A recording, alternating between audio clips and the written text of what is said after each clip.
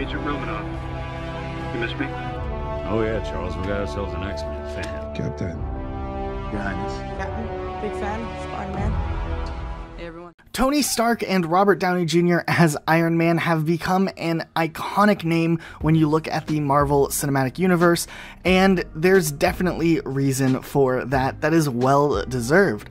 But in a recent interview with the writers Chris Christopher Markus and Stephen McFeely from Avengers Endgame, they actually talked about the possibility of an Iron Man 4 that was at one point considered. This is really interesting because Iron Man was one of the most successful series in the MCU, along with it being the original series to kind of kick off the MCU, plus the the fact plus the fact that Robert Downey Jr. was massively popular. It honestly at one point seemed like it would make the most sense for them to do an Iron Man 4, especially because of the success that the Iron Man movies had. However, in this interview, they kind of elaborated on the decision not to do an Iron Man 4 and why they felt like it was important to do things the way that they did. Now, if you guys remember back to Iron Man 3, it kind of concluded a major story arc involving Tony Stark and his reactor core from the first Iron Man, and it tied up that storyline nicely. And then what they ended up doing was they kind of took that Robert Downey Jr.'s Tony Stark and tied him into a new three arc story that kind of existed outside of his own standalone movies, starting mostly in Avengers Age of Ultron and leading up into the events of Avengers Endgame, with Civil War being a very important part in the middle. Now, what's really interesting though is that the reasoning behind them not wanting to do Iron Man 4 and choosing not to do it when they literally even say in the interview any other studio would have made an Iron Man 4. It was a very obvious decision to make or very obvious option to pursue.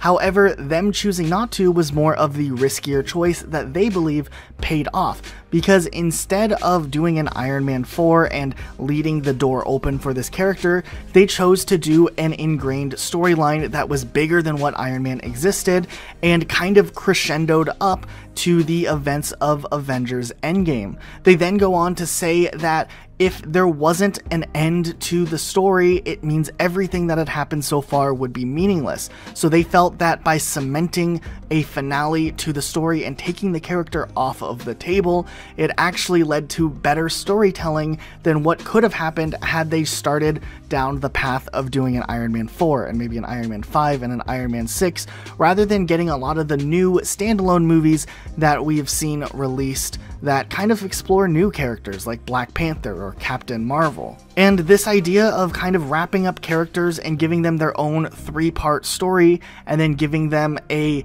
overall larger than life story that wraps up their character seems to be the ongoing trend or the precedent that's been set up by the MCU so far. We see a similar situation with Captain America having three main movies and his storyline crescendoing to a finale in Endgame as well, and we're seeing that a lot of these movies aren't planned to have fourth entries, with the exception of Thor, who's getting the who is going to be the first character to actually have a fourth entry to an extent. Still, we see things like Guardians of the Galaxy probably going to wrap up after the third movie releases, and we won't be surprised if we see similar things where these characters might not go away, but they won't get any standalone movies after their third entry, like Ant-Man. But it is still really interesting to think back as to what the possibility would have been had they gone ahead and pursued an Iron Man 4 sometime after Avengers Age of Ultron released. So now we wanted to turn this around to you guys and see what you guys think. Would you have liked to see an Iron Man 4 or do you think it would have taken away from Tony Stark's storyline and his character arc had they continued with that character and developing him more? Let us know what you think in the comments down below. Be sure to subscribe with notifications on for more videos like this and we'll see you all next time with a brand new video. Bye guys. I'm about to. Hi, everybody. Hey everybody, how you doing? Hi.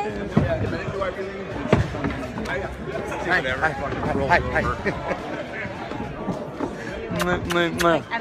See you guys. Know anybody?